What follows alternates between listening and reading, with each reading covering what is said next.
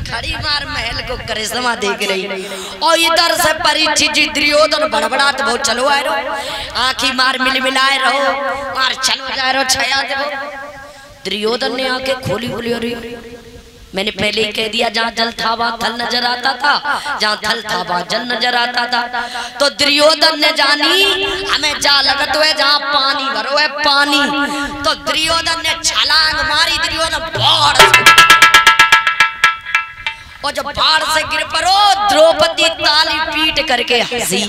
और बोली आज तम तक मैं ये सुनती थी लेकिन आज देख लो आकर से का यारे द्रौपदी पीटी हसी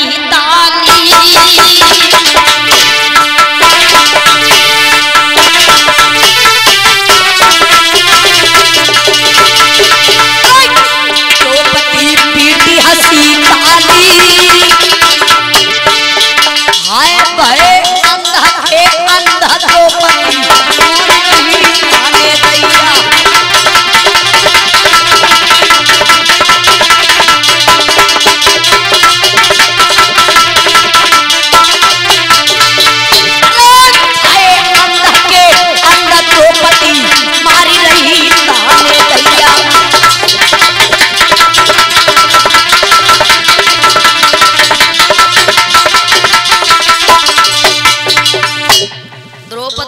ताली पीट गई बोले समझ गए अंधे गंधे ही पैदा होते हैं। और दुर्योधन ने इतनी बात सुनी, आगे खून जैसी लाल हो गई। दुर्योधन बोला हो द्रौपदी, जा, यही अंधा अगर तुझे एक दिन भी सभा में नगिन ना करे तो मेरा नाम भी दुर्योधन नहीं। इतना कह करके दुर्योधन सगुनी के पास में पहुंचो। सगुनी का लोगों क्या बात है भांजे? ए, मुँह कैसे उतारे बैठे हो? दुर्योधन कहने लगा मामा जी हाँ उस पंचाली ने मुझे अंधे के अंधे कहा मुझे बहुत बेइज्जत किया। सगुनी कान लोगो लला सीख रहे हो कुछ बात बता।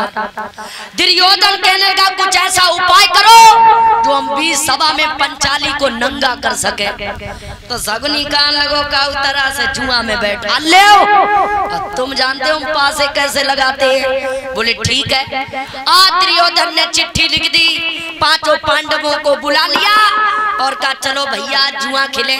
धर्मराज बोले, हम जुआ नहीं खेलते हैं। दुर्योधन कान लोगो भैया जुट्टल मुट्टल खेले मनोरंजन वालों। बोले, चलो ठीक है तो बताया गया, जुआ की तैयारियाँ होने लगी। और ये शरवण भैया सागर जी नंगला भग्गू से, ये मुझे 101 मुद्राएँ भिजवा रहे हैं, अपने चौड़ों का दास बना ले, अभी सुनाएँगे, ठीक है? थोड़ा वेट करो। आप परिचित जी इधर बताया गया